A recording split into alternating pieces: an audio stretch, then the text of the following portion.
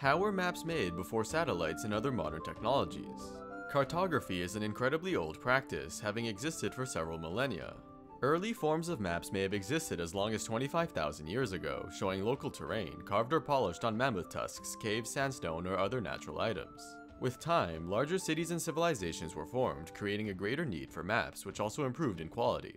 For example, ancient Babylonia made maps using land surveying techniques, having professional surveyors measure land using tools like a measuring rope and a unit rod. Although mostly used for dividing land plots for agriculture, these tools were also for maps, the most infamous being from the 6th century BC, the earliest ever known map of the world. Ancient Greece and Rome also helped advance cartography, many of their maps being lost to history.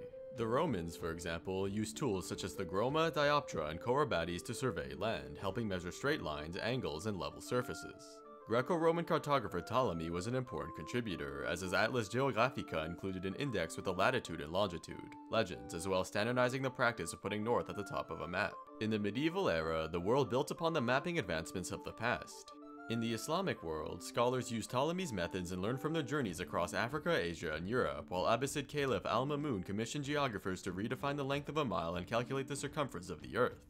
Many new methods were created during this time, like spherical trigonometry and map projection, while cartography schools were formed. Next came the Renaissance, when advanced mapping truly developed, with the age of exploration and colonization of the New World requiring accuracy.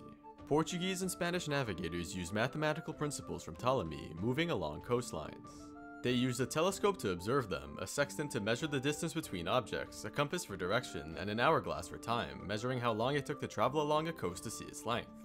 Triangulation was also common, finding the precise location of a point by forming triangles from known ones. As for map design, mapmakers generally used woodcut and copper plate intaglio, where terrain was chiseled into either hardwood or metals, then traced onto paper to make relief maps, though lacking fine details. However, most distortions of this time were primarily due to map projections, as it was difficult to make a spherical Earth on a flat map.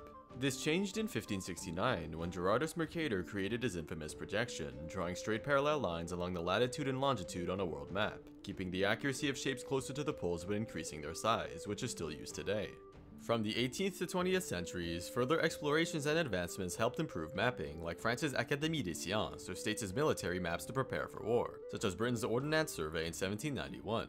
Overall, cartography has a long and complex history. Early on, maps were made of local areas based on terrain and evolved to include cities and regions, with various tools used by surveyors. Ancient civilizations such as Babylon, Rome, Greece, China, and the Islamic world developed the practice, creating advanced mapping by the Renaissance. European explorers and cartographers then created many maps, navigating along coasts using tools such as the compass and methods like triangulation, achieving greater accuracy with the Mercator projection.